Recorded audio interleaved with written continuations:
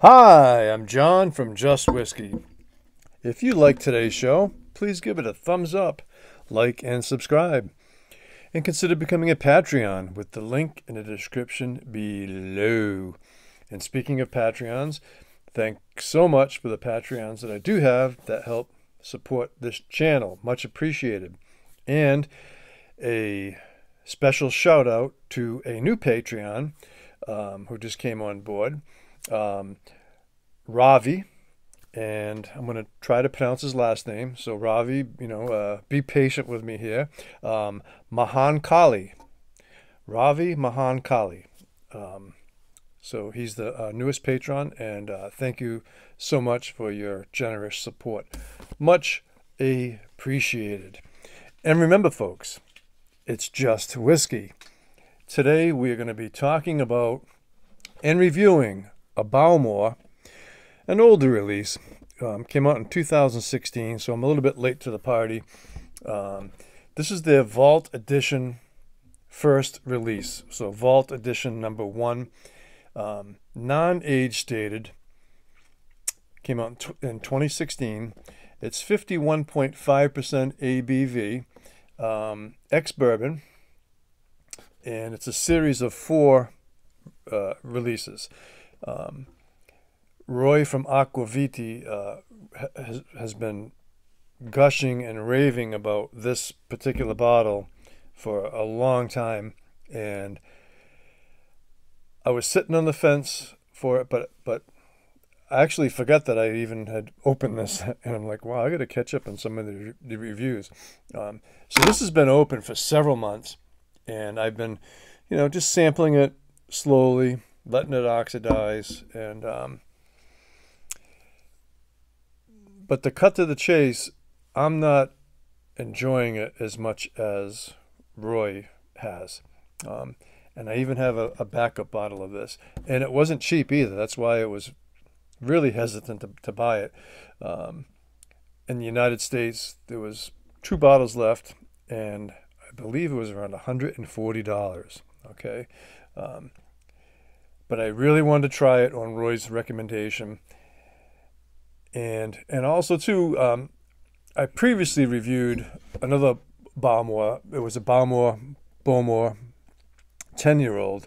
Their uh, Dorus Mor um, from First Fill Bourbon um, as well, and I reviewed that. So check check that out. That was quite a while ago, and this is a fifty five point one percent. So I'm not really gonna I'm not gonna review the ten year old because um, I've already done that, but I will reference it at some point in this this review. Um, yeah. um, okay. On the nose. Black tea vegetal peat, little medicinal, vanilla, spearmint, a little smokiness.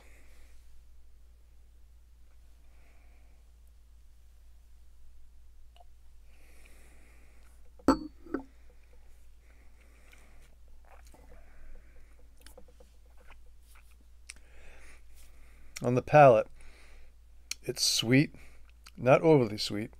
Sweet transition tr- transitions into a bit of that almost almost sour astringency. Um, it's got a fruity element to it. It's got some melon. The light peat is integrated pretty well in there. Um, spearmint, cigar, leather, and a little bit of cocoa and I would say the finish is um, herbaceous, oak spice, sweetness, with a with a strong medium finish. But it's also has this kind of for me. Uh, I don't want to say off-putting, but not inviting in a way is and I don't want to be too dramatic when I say this, but it's it's on the finish. There's a subtle, like Pine-Sol cleaning fluid agent to this, um, which I picked up a little bit of that on, on this, but I'm reading the, the tasting notes on this, and you know they, they describe it as menthol, but but on this 10 year old, menthol, smoky, you can tell they're, they're in the same ballpark. But this 10 year old is really heavy on the, the black licorice, the aniseed, um, menthol, but it also has that, that hint of some kind of maybe cleaning fluid as well, you know.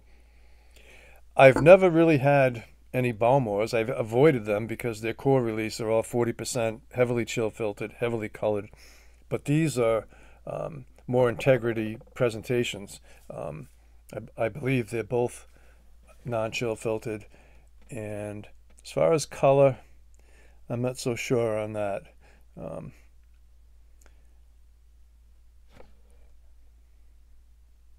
mm, yeah, I'm not sure even about the non-chill filtered, but um, let me see. This I don't think it says it on the uh, the Vault edition number one. Yeah, I don't think it even says it there.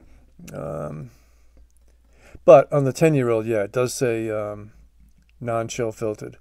So I would assume that the Vault edition is probably non chill filtered. Um, no mention of color, so maybe there is a little bit of color added. Um, I've really tried to see what Roy saw in this, and, and I'm not throwing Roy under the bus by any means. Just an example, like uh, Ralfy gives high praise to the the Balblair ten year old, and Roy has um, you know said that he doesn't really get on, get on with it as well as you know Ralfy does. So it's kind of the situation here, but for the price, I am underwhelmed and disappointed, and I have poured a couple uh, samples for this for other people, and they really weren't. Um, you know, um, blown away by it or um, asking for seconds. um, all right. Yeah. So it, it's it does have a lot going on. I think if someone's a, a Bowmore Bowmore fan, um, I I think they they might like like these, but I'm I've I've been trying really hard um, to wrap my head around it, but for my enjoyment level, um, I, am going to give it like a 82 to an 83, somewhere in that range. It's not something that I find myself going to, but I, I go to it out of curiosity, hoping that it's going to, you know, improve with the oxidation. And it, and it has, but still, it's just, um, I don't think it's, it's, Bowmores are really in my wheelhouse from what limited experience I've had with them. So I hope you found that helpful.